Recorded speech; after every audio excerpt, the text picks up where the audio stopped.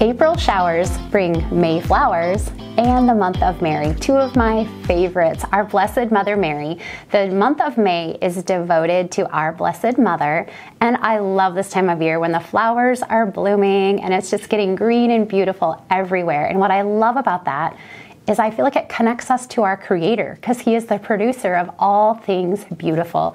And beauty always draws us closer to our Creator. And that's also what our Blessed Mother does. She draws us closer to her Son, Jesus, our Lord and Savior. So I think both of them are awesome, right? Flowers and Mary.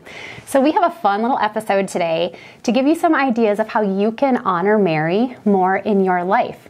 And um, we're going to do that through flowers and some Mary statues. So we're going to give you some ideas, um, easy ways that you can incorporate some of this into your own life, into your domestic church, your home, your yard, your garden, and all those things. And what's really awesome is we have stumbled upon a really cool resource, and it is from the Little Rose Shop and she has come out with a Your Mary Garden Guide. And I have had a Mary garden for a few years now. It is a work in progress. I'm actually not a green thumb, and if you don't believe me, you can ask my husband and kids. They always have to bail me out. Um, but I have a Mary garden that I just love on the farm. Um, it has a Mary statue and different flowers that we add, and I would like to try another Mary garden but you can also have a Mary garden in your home. So I'm going to show you a couple ideas, but um, Raquel at the Little Rose Shop has put together this awesome, awesome guide that we are going to share with you, and we're going to link it in the show notes. And it walks you through how you can have your very own Mary garden. And she has thought of everything what is a Mary garden, how it works, what do you use, where do you find a statue, what kind of um, plants or flowers can you use, is it indoors, is it outdoors? So this is going to be your BFF this month. So print this off, we'll have the link, and I want you to join me in starting your very own Mary garden, whether it's in your home or outside, I want you to join us on this journey of creating a Mary garden that is special to you and connects you to Mary and to our Creator and to our Lord Jesus. Because, you know, like um, I mentioned earlier, beauty just draws us to the Creator. So if you have a beautiful space in your home or in your garden, it's going to draw you closer to our Lord in your faith. So I'm going to show you a couple of fun different ways that you could um, incorporate Mary and a Mary garden into your garden or your home. So I brought some plants that I actually picked these up from Aldi. So you can find plants anywhere. So these are perennials. I love perennials because like I said, I'm not a green thumb and I love anything that doesn't require a ton of maintenance, that I can plant it and, well, kind of forget about it, but enjoy the beauty. so these I just found at Aldi. They're super reasonable and perennial. So I'm going to plant these in our um, Mary garden outside. So every year I add different Mary plants. And the other really cool thing is there are a lot of different flowers and plants that actually have a Mary symbolism, which um, Raquel talks about from the Little Rose Shop a little bit in here. And then she also has, um, you can find her online and we'll also put her links that can get you more information about symbolism with different flowers.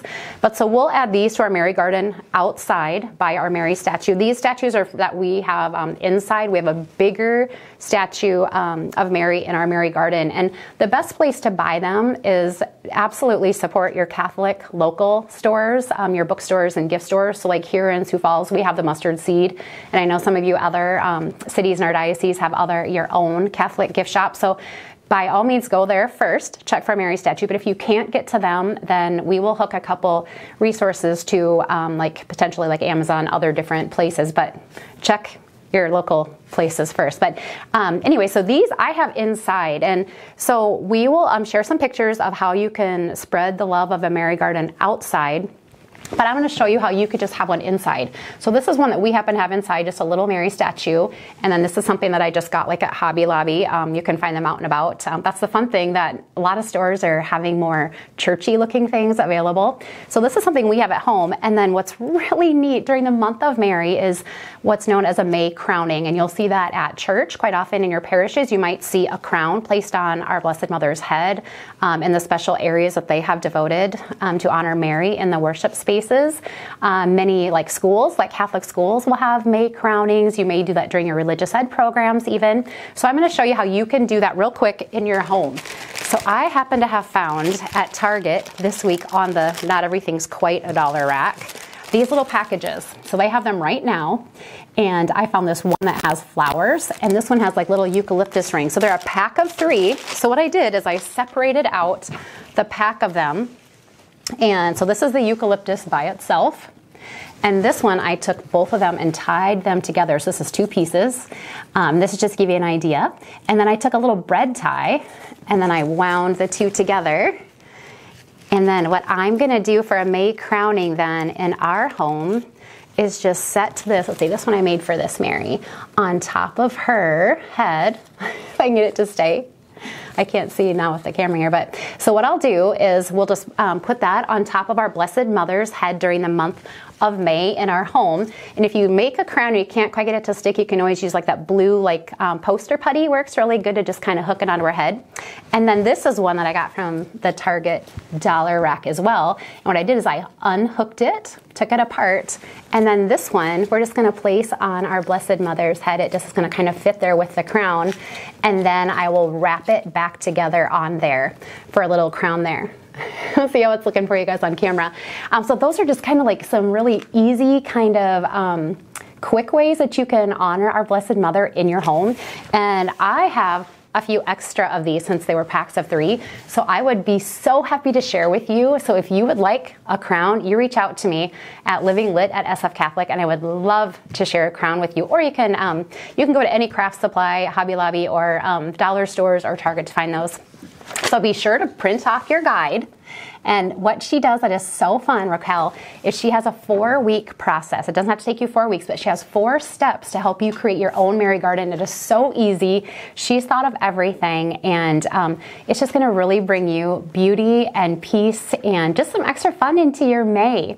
And the other thing I want to mention to you is um, I was with Dr. Bergwald on his Ignition show, and we talked about Mary. And so I would love for you to check out that episode, which we will also link in the show notes, talking a little bit about the difference between um, honoring or worshiping. And we honor our Blessed Mother. We don't worship her, we worship our Lord and God, but we honor our Blessed Mother because she was the mother of our Creator, who God specifically chose her to be the one to be Jesus' mother and our Blessed Mother.